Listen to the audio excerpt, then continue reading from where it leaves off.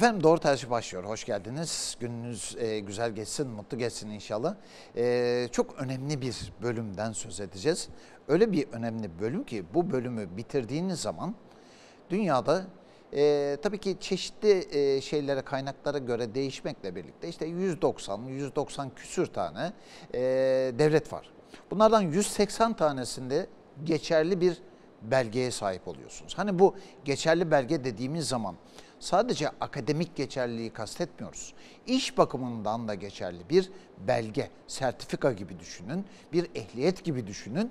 Bu bir yeterlilik belgesi. Bunu elde ettiğiniz zaman 180 ülkede bu öğrendiğiniz işi e, yapabiliyorsunuz. Şimdi e, Türkiye'de çeşitli üniversitelerde bu yüksek lisans ve doktora bazında var. Fakat lisans bazında tek bir üniversitede var. Ve bu öyle bir bölüm ki hani adını duyduğunuz anda geçerli olduğunu zaten anlayacaksınız. 83 tane şanslı mı diyelim e, yahut da istekli diyelim e, gencimiz yararlanacak bundan. 80 tane normal kontenjan, bir tane Kuzey Kıbrıs Türk Cumhuriyeti kontenjanı, iki tane de okul birincisi kontenjanı var. Peki e, bu hangi üniversitede? Esasında Cumhuriyet tarihindeki ilk üniversitemizde. Yani e, şeye baktığımız zaman İstanbul Üniversitesi ilk kurulan 1453'e dayandırılır. E, Enderun'a e, dayandırılır. Ama e, Cumhuriyet olarak baktığımızda ilk olarak kurulan e, üniversitemiz Ankara Üniversitesi. Şimdi Ankara Üniversitesi'nin 17 tane fakültesi var.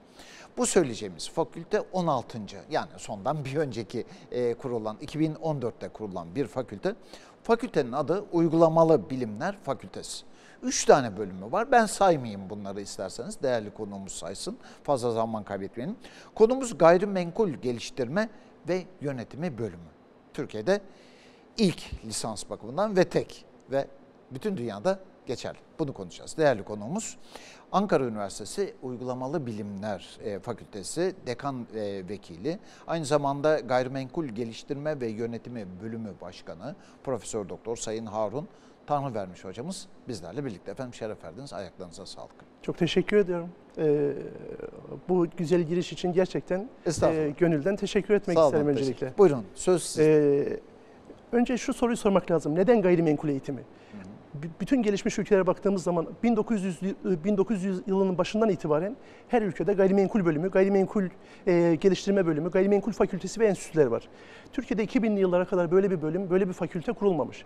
2000'li yıllarda biz e, böyle bir çalışmaya başladık. Acaba ayrı bir fakülte, ayrı bir bölüm kurmak gerekir mi diye.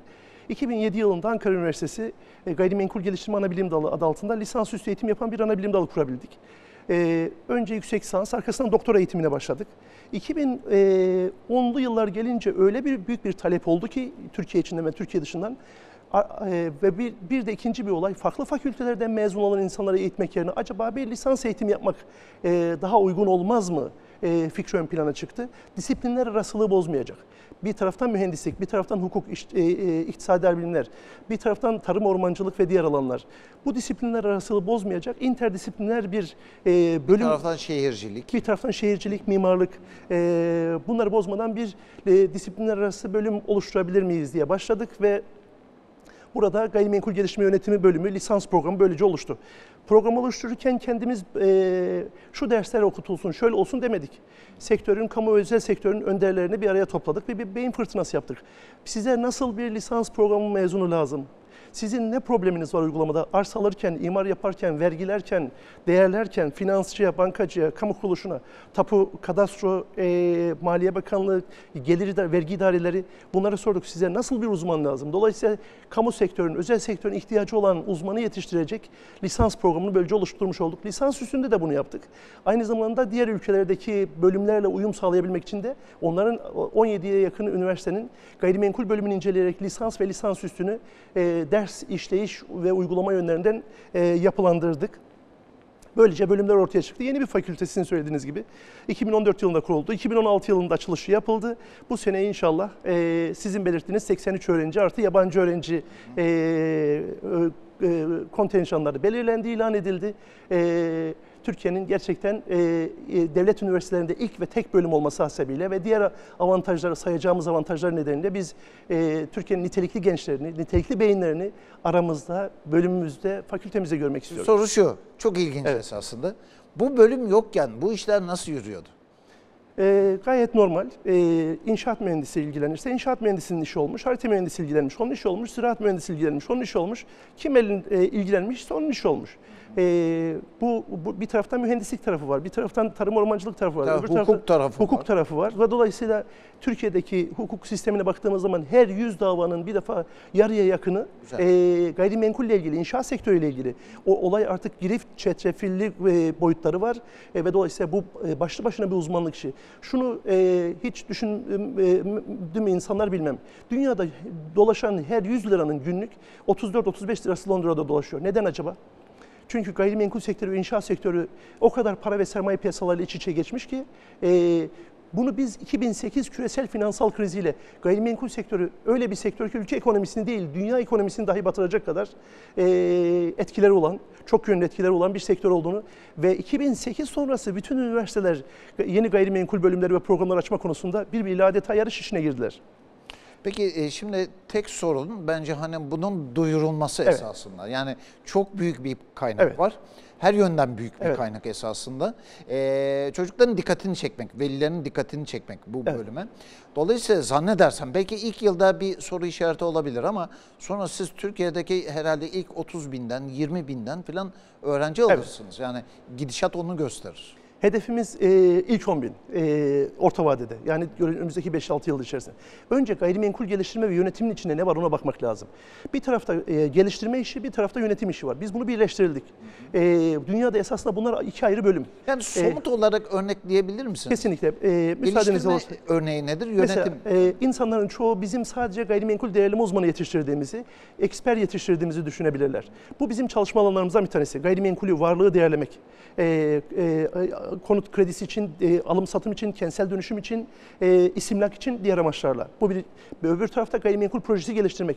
Ham araziden alıp imar hakkını verilmesi, e, üzerine mimari tasarım, arkasından projenin fizibilitesini yapmak, finans bulmak e, e, işimiz.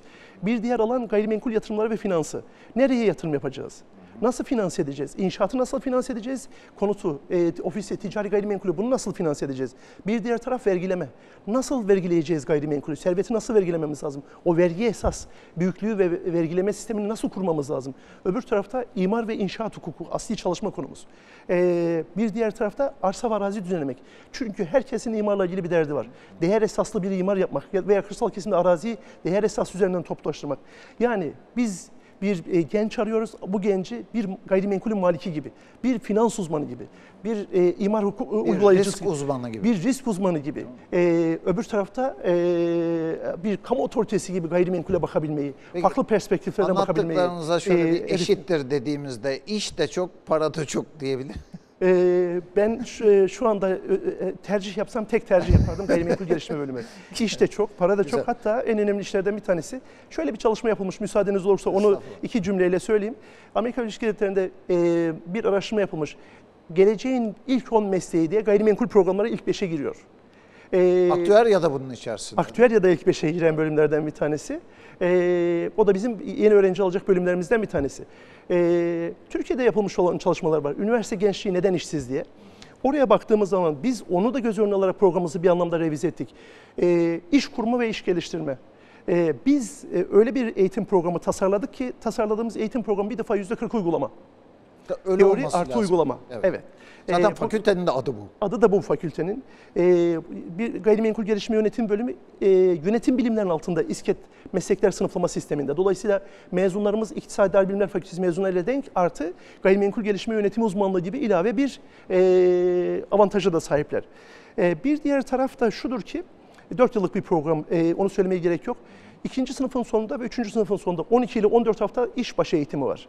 Dolayısıyla e, final sınavını tamamlayan öğrenci iş başına gidecek ve hocası her hafta bir hocasıyla birlikte çalışacak.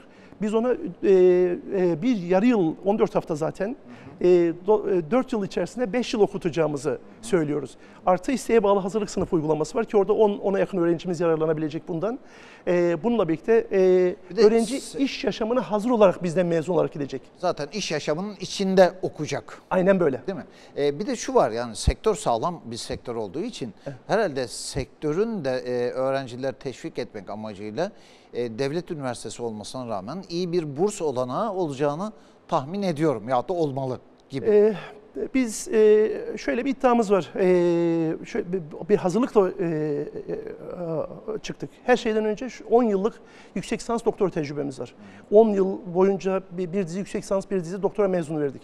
Ee, bu süre içerisinde uluslararasılaştırdık bölümümüzü. Ondan bir birkaç cümleyle bahsetmek isterim. Ee, e, bizim e, e, duyurumuz şudur. E, Türkiye'nin e, LYS sınav sonuçları önümüzdeki günlerde açıklanacak. Başarılı gençlerine TM3 grubundan öğrenci alıyoruz. TM3 grubundan ilk 30 binden gelen öğrenci bunlara burs vermeyi garanti ediyoruz. İlk 30 binden gelen bütün öğrencilere. Ee, bu burs öyle e, yani e, e, e, ciddi bir burs. Kamu e, kaynaklarıyla olabilecek bir şey değil. Ee, oluşturduğumuz fonla, e, sektörün önderlerinden gelen desteklerle, akademisyenlerimizden, hocalarımızdan gelen desteklerle 1000 lira ve e, altındaki kademelere öğrencinin geldiği dilime bağlı olarak burs vermeyi hedefliyoruz. Neden burs veriyoruz? Şunun için. Biz gerçekten nitelikli, yaratıcı, e, lider, Bu işe sorun çözme gönüllü, odaklı evet. e, ve çalışkan, Etik üretken değerlere insanlar. sahip. Çünkü etik değerlere bu sahip. bölüm onu ister. Evet ve liderlik yapabilecek sektörde, böyle zor bir sektörde çalışabilecek, e, bir e, takım çalışmasına yatkın genci yetiştirecek e, mezunlarımızın bu vasıfta olmasını istiyoruz. Dolayısıyla başarılı mezunlar bize gelsin, biz de bunları taçlandıralım. Mümkünse bir yılını yurt dışında okutalım. E, e, çünkü e, dört a- a- e, ülkede dokuz üniversiteyle işbirliği anlaşmaları yapıldı. Bir ya da iki yarı yıl yurt dışında okutalım. Maliye bilgisi de bir hayli olsa gerek değil mi bu Evet. bölümde? Ee, zaten e, ondan da birkaç cümleyle bahsedeyim isterseniz. Biz şu anda 30'a yakın kamu kuruluşuyla, özel sektör kuruluşuyla anlaşma yaptık. Ee, bu anlaşmalarımızın bir kısmı araştırma anlaşması, bir kısmı eğitim işbirliği anlaşması. Ee, Maliye Bakanlığı, Milli Emlak Genel Müdürlüğü, Tapu ve Kadastro Genel Müdürlüğü, Çevre Şehircilik Bakanlığı, e, özellikle Sayın Bakanımızın bize e, ciddi bir katkısı oldu. Kentsel dönüşüm, e, e, yeni yerleşim alanları, planlama, çevre koruma e, eksik olmasın. Sayın Üstad Seki'ye bu vesileyle çok da teşekkür ediyorum. E, Bilim Sanayi Teknoloji Bakanlığı, Özelleşme İdaresi, İller Bankası, e, Gayrimenkul Yatırım Ortaklıkları Derneği, Türkiye Belediyeler Birliği, Türkiye'nin bütün belediyelerinin üst örgütü olması vesilesiyle bunlarla bir el işbirliği anlaşması yapıldı. 30'a yakın kamu ya da özel sektör kuruluşu. Organize sanayi bölgeler, endüstri siteler, endüstri bölgeleri e, listeyi uzatmayalım.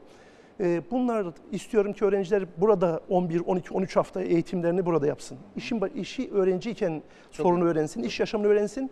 Ben ne olacağım diye dördüncü sınıfta düşünmemeli. Ben bankacı olacağım, konut kredileri departmanında çalışacağım. Ben Zaten ticari kredilerde çalışacağım. e, Evet. ikinci sınıftaki stajlarda anlamış Aynen. olacak. Üç, 7 iki haftalık. ya da üç, o- o- Yedi 10, 12 haftalık hafta. stajlarda bunu anlayacak. Peki e, süremizin sonuna geldik ama şununla kapatalım. Bununla başladık, bununla kapatalım.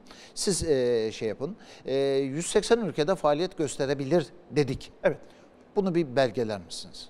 Ee, eyvallah. Ee, biz 2013 yılında e, dedik ki verdiğimiz diploma dünyanın her tarafına geçerli olacak lisans üstünde.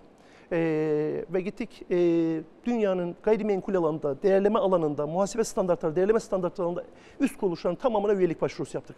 Bir de gittik e, e, Londra'da Royal Institutions of Chartered Surveyors, e, lisanslı e, uzmanlar kraliyet kurumu ona başvuru yaptık.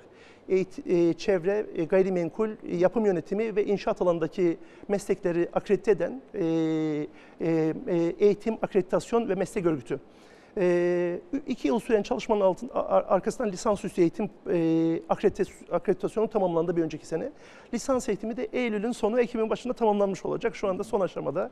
Böylece ne oluyor? Neden akreditasyon? Bizim verdiğimiz diploma mutlaka Edirne'nin öbür tarafında başarılı olmalı. Geçmeli. Eğitim için, iş için. Bizden mezun olan lisansüstü eğitimini örneğin e, e, Cambridge Üniversitesi'nde yapmak, yapmak istiyorsa rahatça yapabilmeli.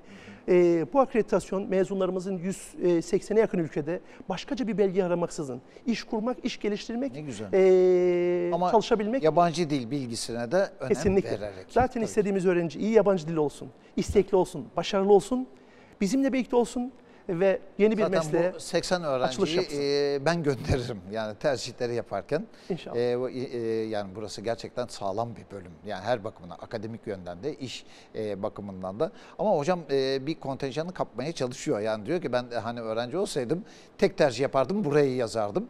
Geriye kalıyor bize hani şey olarak baktığımızda 82 kontenjan. E, hocama eleyelim, o kontenjanları biz dolduralım. Çok teşekkür ederiz. Ben teşekkür ediyorum. Ayaklarınıza. Ee, siz sağ olun. Evet, bize ayrılan sürenin sonuna geldik. Tekrar birlikte olmak ümidiyle esen kalın efendim.